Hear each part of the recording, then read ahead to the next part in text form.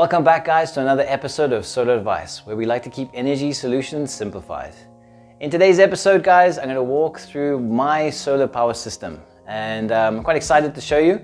And it didn't always look like this. It did start from humble beginnings and I'll tell you all about that. But the first thing I'm going to do is I'm going to introduce you to what it looks like today.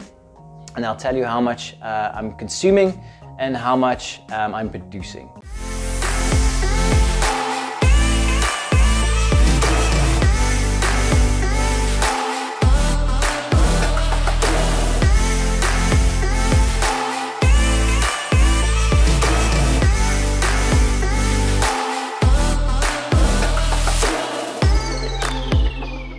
You might have seen my other video on this inverter. I think it was this one which we actually talked about. We took it off the wall and added in the studio.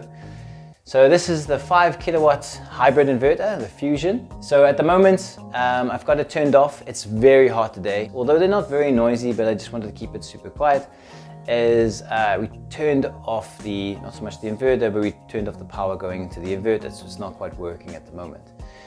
So the first thing I'm gonna go through is, uh, as you can see, I've got two. Uh, I started off with one 5 kilowatt inverter and as my needs grew, and I'll tell you uh, pretty much what I'm running at the moment on a, you know, on a daily basis. So I've got myself a, a dishwasher, I've got obviously a fridge freezer, um, I've got a, um, a washing machine, I've got a heat pump tumble dryer, um, which I highly recommend you guys getting. I got a, a heat pump for my, my geyser, uh, which again I recommend that one as well and I've got a crypto miner. so in case you guys don't know what a crypto miner is, it takes a lot of power and it produces some cryptocurrency. Uh, but it runs on around 850 watts uh, at any given time. So I need uh, quite a bit of power constantly to, to run that as well. Um, of course, I got a stove and things, but that is not on my solar system. Also got an irrigation, um, which comes on about twice a day, uh, once in the morning and once uh, during the, you know, close to the evening while the sun's still up. And I've also got a pool um, and that runs just an hour or so a day in the middle of the day. Now, of course, I've got a lot of timers and things like that, which I, um, which I put in for automation to make sure that I'm running all these things at the right time of the day. Because no, no point running things at night because obviously I haven't got the sun to power them. So back to this guy. So I started with the five kilowatts. And like I said, my needs grew. Um, I got a few other appliances and then I realized actually I need to have more power because it kept on tripping the system. So it was exceeding that five kilowatt uh, um, limit. And although these can handle uh, more than that, but only for a small duration, and then it will just trip for, for safety, so you don't blow your inverter.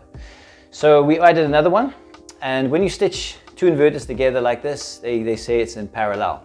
So it goes five and five is those 10 kilowatts uh, capacity that, it, that, that, I have right now. Then moving on, I've got um, my batteries. They may, may look pretty massive, but uh, there's basically two 3.6 kilowatt hour batteries inside. So there's one on the top and one on the bottom. Uh, and also I got another one down here, as you can see. So that equals 14.4 kilowatt hours. Now, the one thing I love about this cabinet is that uh, you can obviously take the, the front off. I wouldn't recommend this any, if you didn't know how to do, you know, electrical work, I'd recommend getting an installer to do this for you. So the benefit of having something like this, uh, it looks neat and tidy as you can see. And I can swap out these rack, because they're rack mounted batteries inside here. Um, I'll try and get a little snippet of what it looks like inside, but essentially one is stacked, you know, long ways up here, and one is stacked, you know, at the bottom like this, like so. And then they connect it together and then obviously connect it to this disconnect, which then connects to the inverter. So eventually what I'm gonna do is I'm gonna swap out my 3.6s for 4.8s. Um, at the moment, we don't have any stock of those. So I have to obviously be patient and wait for those. But that's the plan for my next iteration of, of the system. So next thing is I've got myself a quite a massive solar array on my roof now. Uh, just recently I increased the number of panels.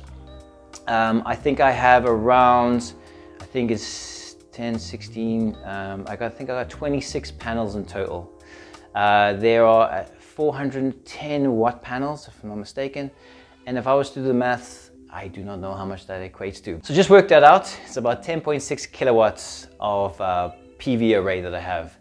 I started with uh, 16 panels at the time. uh, I should have worked that out too. So 16 times 410, 6.5 kilowatt array.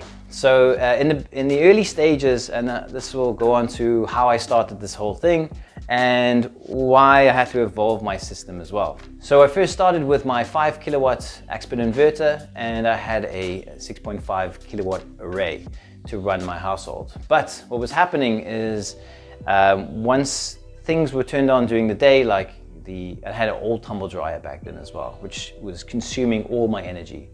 So we took that off the system and then we ran the, the washing machine and we ran the, um, the dishwasher and so on and obviously the pool pump and things like that. And it was before I had my crypto miner. So uh, outgrowing that system was didn't take very long, to be honest with you. Um, with things happening and, and also I found that that particular inverter was quite noisy. Um, I should have a picture popping up somewhere around here so I can show what it looks like. And not a bad inverter, again, it's a budget inverter. So it's not gonna do everything that you want it to do like what these guys can do. So I do go over this in another video if you guys wanna check that out um, in great detail. But essentially, like I said, I outgrew the, uh, the inverter. And then the next step was to, well, I wanted to get a hybrid inverter because don't, don't forget, with the off-grid inverter, it doesn't blend the energy, which is probably one of the most important factors when it comes to uh, hybrid and off-grid inverters. So it by not blending the energy, I had pretty much was, could only use the power during the peak times of the sun. So whilst was going, the sun was going down, I wasn't getting any of that energy because it was sw switching right back over to grid or it was just draining my battery very quickly. So once I uh, swapped that out, it wasn't one of these, it was a, a Sofar 6 kilowatt inverter. Um, and I still had that 4.8 kilowatt hour battery. Uh, the issues I actually found with that one, the inverter was a good quality inverter, but the communication between the battery and that inverter wasn't proper. And therefore, there was a lot of errors coming up and things like that. So don't forget that you need to have comms or communications with the battery of your choice of inverter. That's very important. Um, so after that, um, I thought to myself, well, I'm going to be expanding anyway. Why not get something that I can expand with? with because the Sofar inverter actually didn't parallel either. So that was the other thing. Uh, I wanted something I could expand with my needs. So the first step was to install this uh, new inverter. I also upgraded my uh, DB box, um, my two DB boxes here. So they are um, waterproof I say waterproof, water resistant, I should say, because in the winter, sometimes I have a couple of leaks and I wanted to be safe that I wasn't gonna short any, any electrical equipment. What I did then was install this guy, uh, hooked him up to the 16 panels, and yeah, it was working very, very well. Um, I had then two 4.8 kilowatt hour batteries. So I had a 9.6 kilowatt hour battery bank. So I had a nice upgrade from that, which was pretty much sitting here. I've got a whole bunch of holes on this wall here where it's like Swiss cheese now. So um, I had a, the inverter here, had the battery here, had the second battery here, which was working great for a while. And then again, I got other appliances. Uh, I got aircon units. I've got two now, but at that time I got one. And I kept on tripping the system. So these systems are designed to trip safely. So as long as you have the installer install everything properly, you should be able to exceed and trip and not damage your inverter. Um, with off-grid inverters, however, you've got to be very careful with that. Um, so with that, uh, my needs grew again very quickly and I realized, oh wow, I need more, even more. So the first step was to get another battery um, because that was going to last me through the night. Um, so I got another 4.8 hour battery, which was the same type of battery that I had previously and uh, I'll try and get a picture of that for you as well. So I had one here, one here and one here. So I was had plenty of battery, but again, I needed to harness more uh, power from the sun. So then what I did next is, uh, first of all, I installed this next guy. Uh, and this is, this is not hooked up to any uh, solar power just yet. Um, although the panels are ready and maybe tomorrow, I think probably tomorrow I'll be hooked up completely. But all the, the, the 16 panels are going into this one and the uh, 10 are gonna go into this one. So that's gonna, these two are gonna take the load. So that's, I'm really excited about that because I do want that booster power, especially in the afternoon where I'm not using any grid power at all. I shouldn't have to be using grid power because I've got plenty of capacity here. Um, a battery, however, you can never have too much battery, to be perfectly honest with you, when you want to go off grid. Um, and I do go through that uh, in another video. So check that one out as well. So the plans now is to get that hooked up, get this online, and I think I'm pretty much ready to rock and roll. Uh, and this is probably phase three of my system.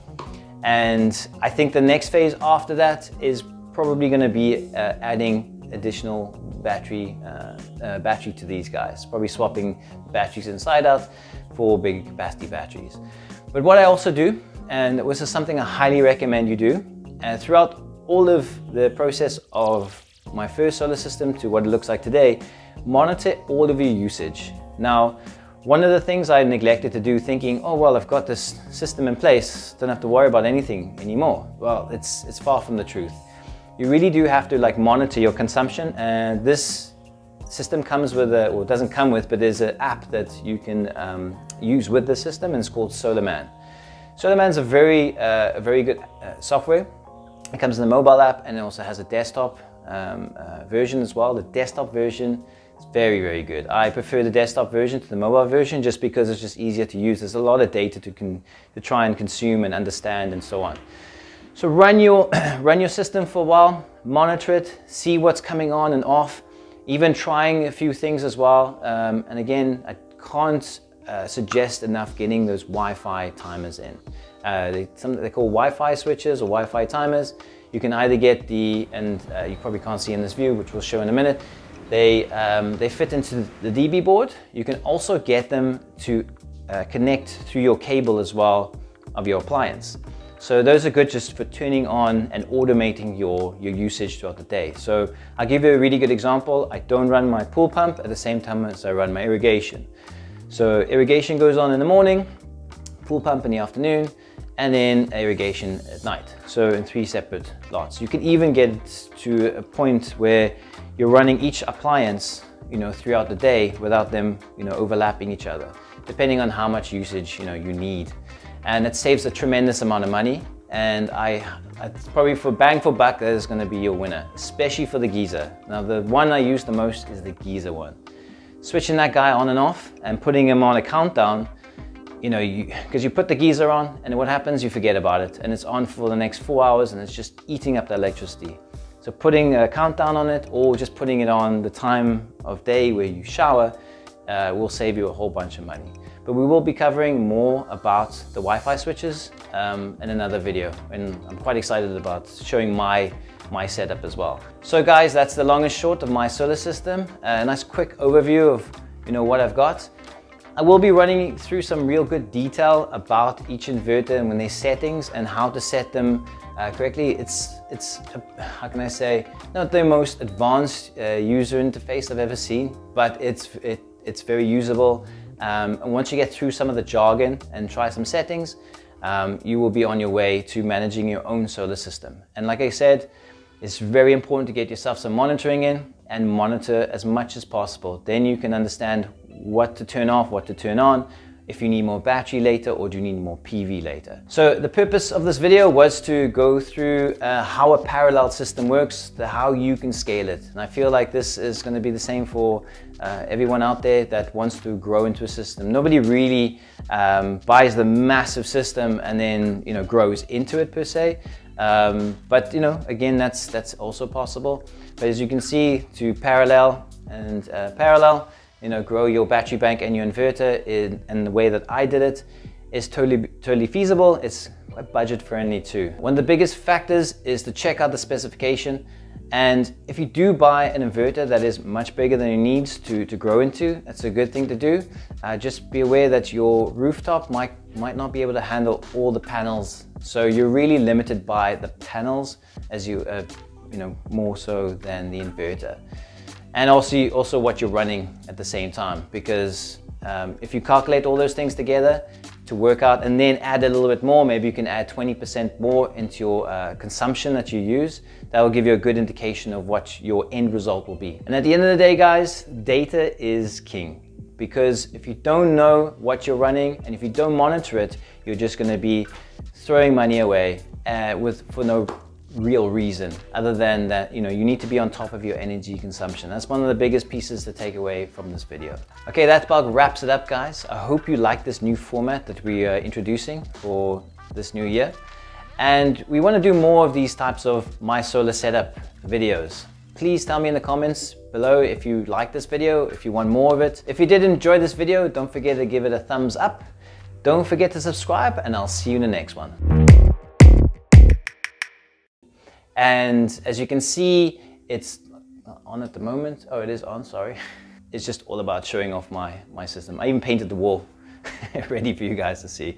Um, I think I have around, I think it's 10, 16, um, I, got, I think I got 26, uh, so it's 10.6 10.6 kilowatt array. Ping, ping, ping, ping, ping, ping. Yeah, and as always, don't forget to subscribe. Sorry.